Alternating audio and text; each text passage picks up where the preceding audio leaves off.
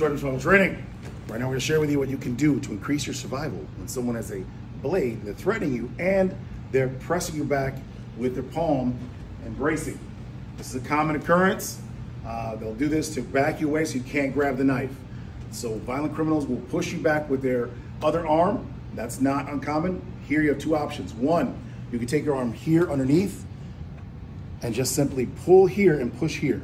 This causes a lock and can actually break their arm and throw them to the ground. Another option is you come here. This is what you brace. They're already braced and already pushing you. You're gonna hold it to your body. Use your arm here. Go right to the elbow, snap forward and down.